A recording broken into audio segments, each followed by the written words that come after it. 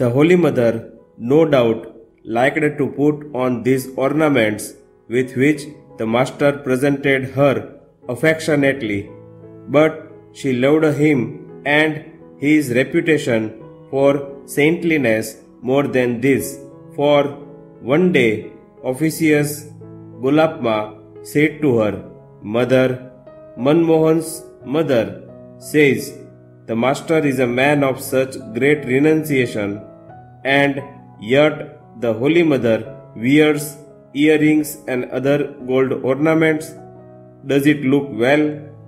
Next morning, when Yoginma, another woman disciple of the Master, visited her, she noticed that the mother had only a pair of gold bracelets on her wrist.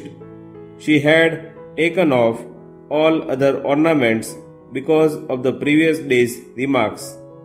After much persuasion, Yoginma succeeded in making her put on the earrings and one or two ordinary ornaments. She never put on all of them anymore because immediately after the master fell ill.